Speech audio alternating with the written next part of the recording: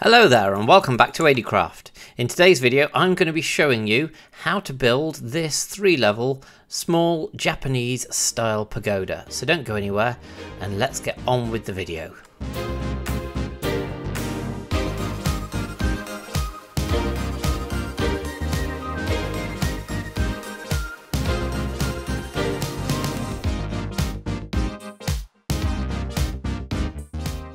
Let's go through the block palette. This is just the building blocks. There's a number of decorative blocks as well that you can use if you so wish um, from the build, uh, but we'll just go through these. So we've got the dark oak logs, we've got the dark oak planks, stairs and slabs, we've got stripped acacia logs uh, and stairs and slabs and trapdoors. Then we've got the jungle planks and stairs, jungle trapdoors, uh, jungle fence gates and fences, stripped birch, logs. Uh, then we've also got some andesite blocks and some walls for the andesite.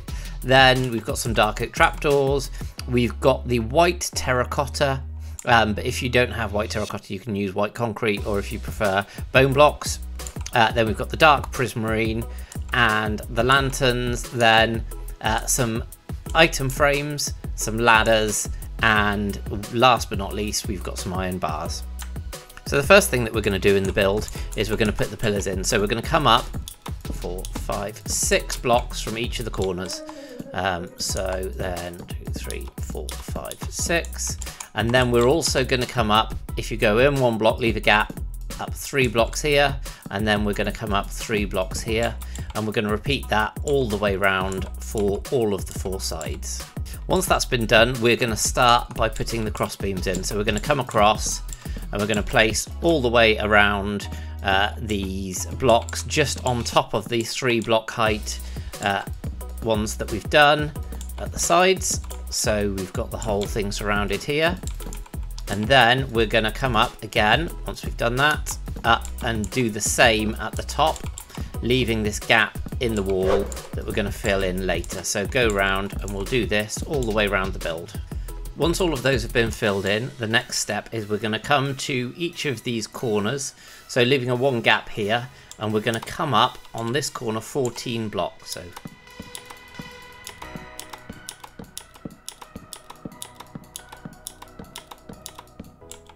So 14 blocks there, and we're going to do that for each of the sides, and this will take us right to the highest point of this, this build and give us the structure to build off.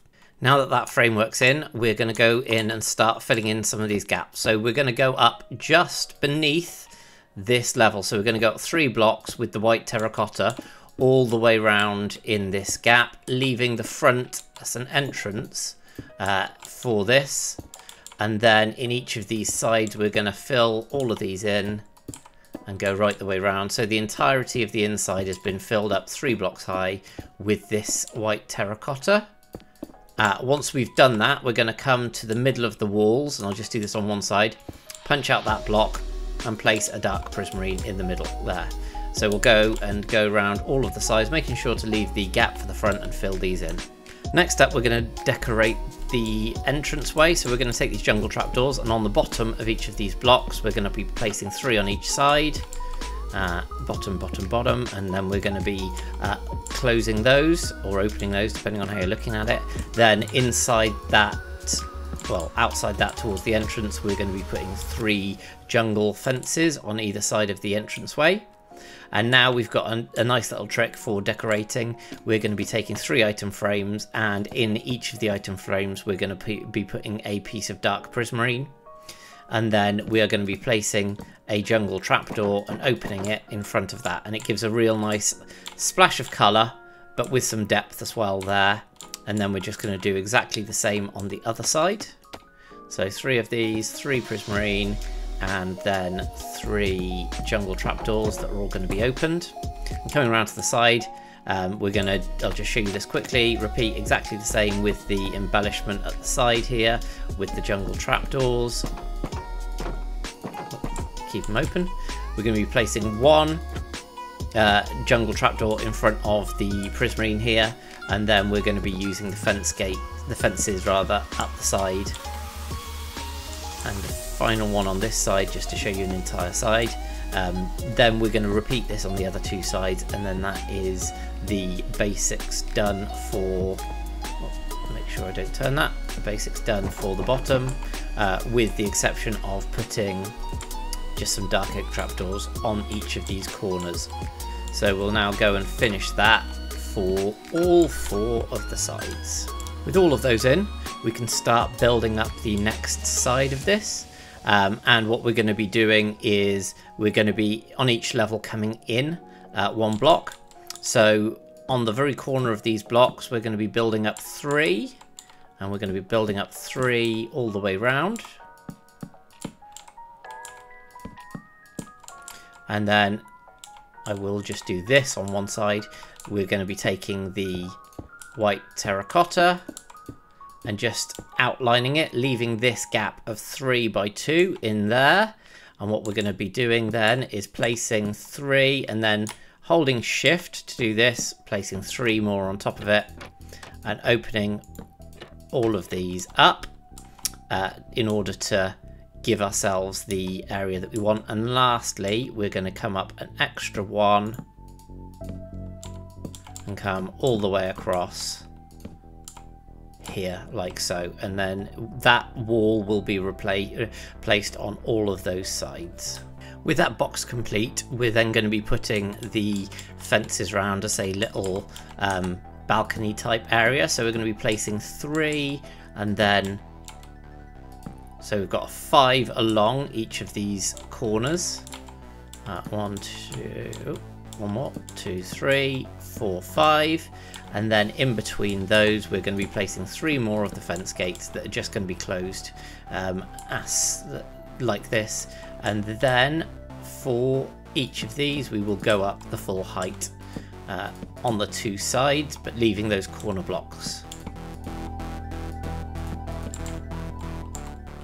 The next level of this build we're going to be doing a very similar thing to the floor beneath but this time we're obviously going in another block. So we're coming up and filling in, whoop, one too many, uh, a U shape again with our trapdoor shift and then place our trapdoors there with the blocks across. And I'll also show uh, the same the thing that we're doing this time on the sides is very similar so we're going with three rather than five this time because we've got we've got a shorter wall with our three fence gates in between and then again connecting just up to the uh, roof, the ceiling part. I think that's one too many in fact. Two blocks high here because that's where the roof's going to start on the final level and then filling this in all the way around. So there we've got a nice consistent pattern but moving in each time. With the, the main shell of the building complete, we're going to start working on the, uh, the roofs. So to do this, we come to the corner and level with this hole. We're going to be placing some upside down acacia stairs. And then we're going to be placing a trapdoor on each of those. We're then going to be coming on the same line, holding shift and doing a line of trapdoors level with the bottom of this before finishing this off again with a stair, a stair and a trapdoor on each side. Moving up to the next level, we've I've taken out some of these fences because I had gone one level too high. Um, we're going to be placing the stair and the stair with a slab on the corner. Then coming out and down here, we're going to be placing a trapdoor, making sure we shift click along. Trapdoors level with the top of that block. And then finish off here with the two stairs and a slab. And then the final level for the roof, we're going to be doing exactly the same but on a much smaller scale. So we've got the two stairs, we've got the slab in between, and then coming down just a little bit here, we're going to be placing the trapdoor level with that at the top of that block. Finish it off with the stairs and then fill that in all the way around. With all of the acacia now in, then we are going to start working level by level on each of these roofs. So the first thing to do is to come in and put up with the slabs, top slabs, on this bottom level so they're not touching. We're going to make a cross on one side, then we're going to make a cross on the other side as well. Again, that turned into a full block. Finish that. Then we're going to take our stairs and we're going to place our stairs right the way running across in between these two. Now the next thing that we're going to do is come down here and we can start with a shift click and then just run it across. Next to it we're going to be placing some slabs again, top slabs, with a top slab shift clicked onto that block and onto that block here.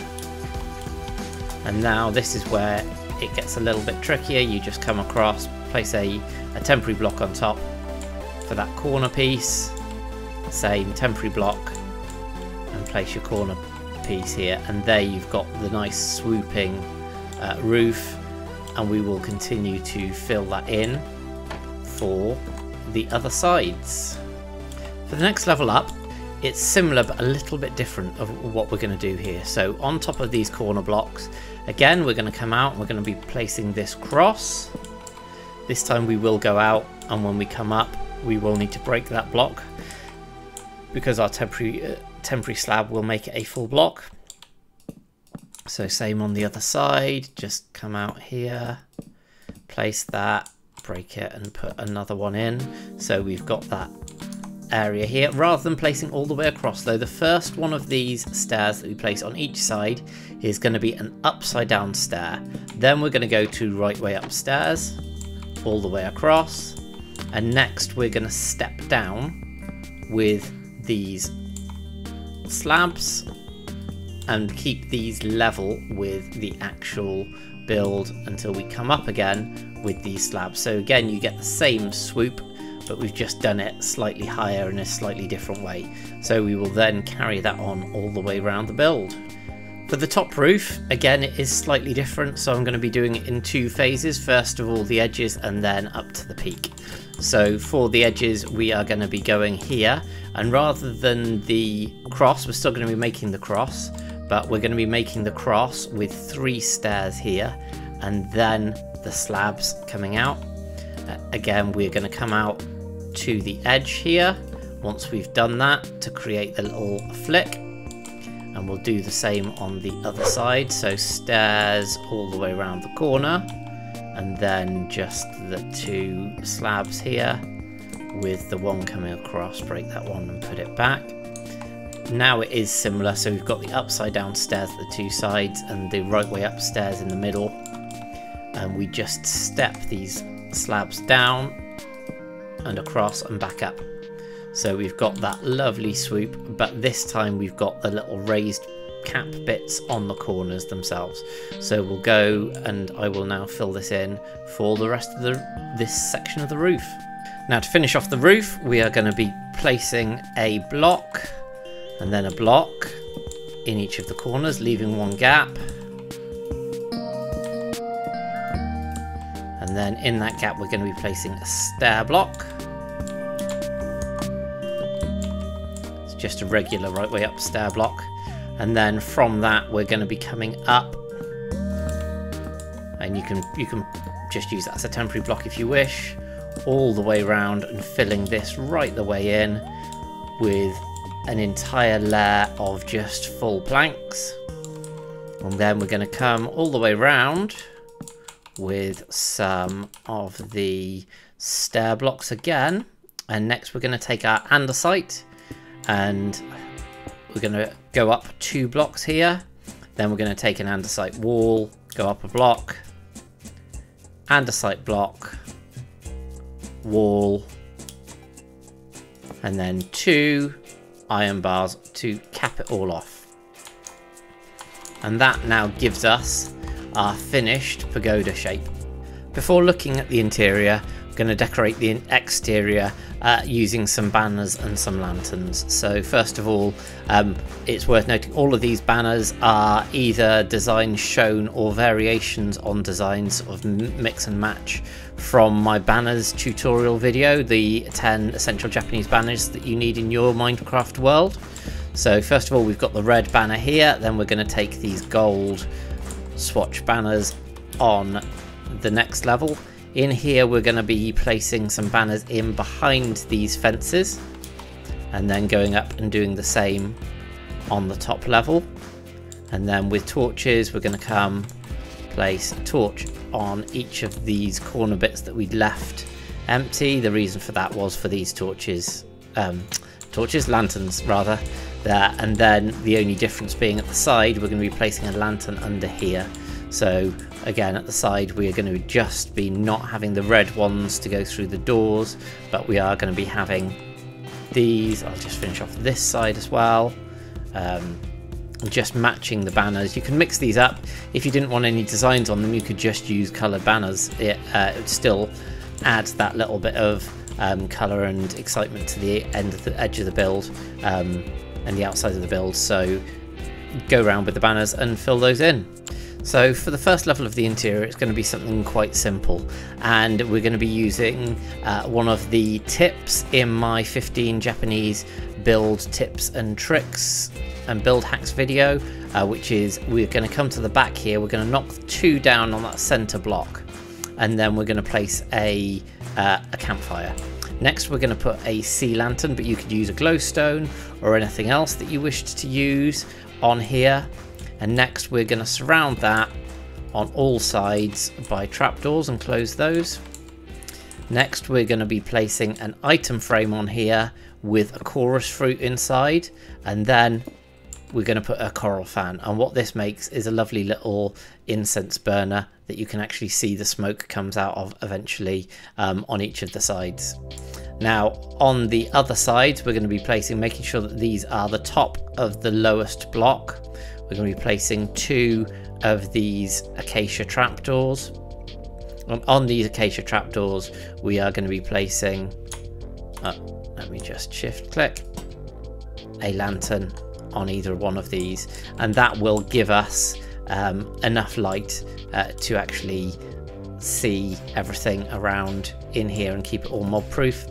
And then either side of this little uh, this little altar, this little incense burner, we've got the two banners.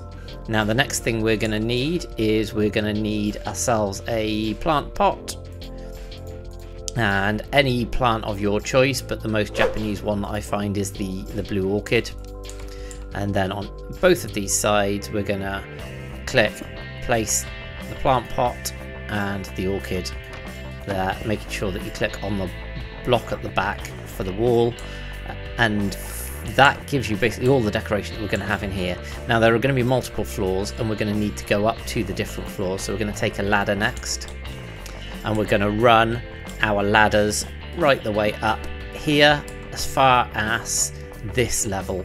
Um, the reason that we're going as far as that level is because we're going to start coming up and we're going to start placing any orientation you like but let's go for uh, this orientation actually um, at the top of the block. So again these will form a basis for things. We're going to be placing trapdoors right the way and that's the wrong side. There we go right side of the line right the way across. Leaving this one by the ladders of course so that you can actually use the ladders but on the other side of the build all the way over, fill that in with these trapdoors as the basis there, and then coming up here, we can fit one more ladder in here because on this side we're actually going to be placing the trapdoor on the bottom of this block so that opens upwards. Um, and that's going to give us it doesn't quite match but it's close enough. It means that we can use the ladder and then get to the next floor itself as well Upstairs here on the second floor, we're going to start actually uh, placing some more things. So what, first of all, what we're going to do is we're going to choose a place for a bed and we're going to go opposite here and we're going to place the, the bed down there. Then we're going to be placing, uh, we can use a full block there, but I've just chosen to use some half slabs, some half slabs on top of these, but not all of them. So it's worth just noting that there's a few that we're going to leave so that we can fill them in but we do want to surround the bed itself with some of these blocks and then the last one here So we're going to fill those up with some of the useful things like the chests. On each of these pillars we are going to be placing some banners again, whatever design you choose. These are just some variations from my previous video. And then using these half slabs, we're going to be placing them on the underside of these walls, um, like so, and then filling it in in another circle, but leaving the one middle block because that is how we're going to be getting up. So you've got your ladder coming up here. You've got your ladder that's going to be going there. In order for that ladder to work, we need that to be a full block and we also need the one behind it to be a full block. And we're also going to block in the ones in these these areas because we are going to use these as our lighting for the actual upstairs portion here. Uh, and then we've got a lovely trick, uh, which is just if you come around the right direction and place your first trapdoor, and I'm using acacia, but you can choose which trapdoors you like.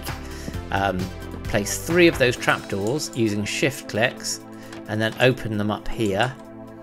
You can then, using shift again, make sure you use shift, uh, and you don't need that top one, place three ladders here uh, and that means that you should be able to then access the floor above. The one thing you need to be careful of is not to close these because as soon as you do, it breaks the ladder. Um, so make sure that you again put it the right way around.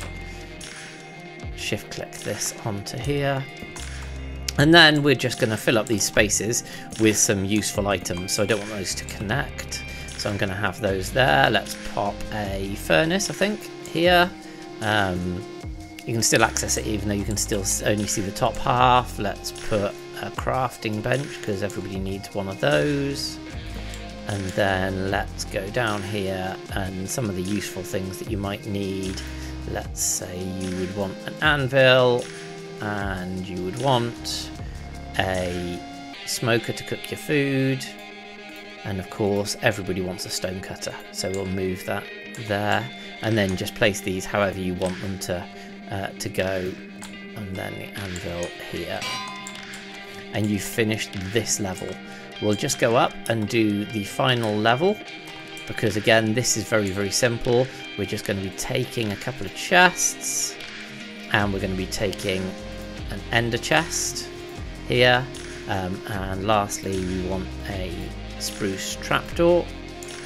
So the spruce trapdoor we can put here so that you can get up and down and close it when you're inside. We're also going to be placing some spruce trapdoors here around the build. Now we're going to be taking the spruce planks and just filling in this void these are the bottom planks. You could use full blocks if you wanted here, it makes no difference. Just to give us something, because uh, I've lost them now, uh, to put the lanterns on. So we'll put the lanterns on here. Um, and this time these lanterns are going to go in the corners next to those trapdoors. So again, it gives us full lighting here. Here we're just going to have some storage. So we're going to be placing a chest there, chest here, a chest here, and an ender chest. And that now is your completely finished build. So you can come up here, you can look out the windows at the views all around you in your lovely, beautifully built pagoda. You can clamber down this ladder into your living area where here we're going to place again, just to finish off, uh, flower pot. flower pot with a nice little orchid in it, just to add a bit of colour up here. Um, lovely little compact sleeping area up here. Mob safe because you can completely close this down. And then down here, your exit is a lovely Japanese style uh, incense burning little shrine area. So popping on the vanilla textures, uh, you can see that just from the inside it all looks fantastic. We'll just come down this ladder. Uh, into the little sleeping area again. textures look gorgeous in here with the acacia. The acacia is not quite as orange in the vanilla. And coming down here to the little um, incense burner altar with the occasional smoke wisp that just comes out and looks really good. I've changed these pots for some bamboo just to look a bit more oriental. And then if we look at the actual build itself, that white terracotta just with the slight pinkness goes really, really well with the acacia and then you've got some contrast coming through from the dark oak and then the jungle as well just to give it a little bit of a uh, little bit more tone to it. Um, and yeah I think that it looks really really good how how it comes out with the underside of these uh, trapdoors just covering up some of the dark oak and giving it a, a ring of the acacia around there. So now we're going to have a quick look at it with the shaders on. As the sun's rays pass through the different areas of the roof. I think you'll agree that it does look fantastic this build. I'm using Sildur's vibrant shaders here um, and yeah they do make everything look brilliant. Um, thank you very much for watching the video. If you don't already subscribe then please do hit that subscribe button. Make sure you ding dong that notification bell so you don't miss out on any future videos. Uh, and all that's left to be said from that point of view is thank you very much for watching and I'll see you next time on AdieCraft.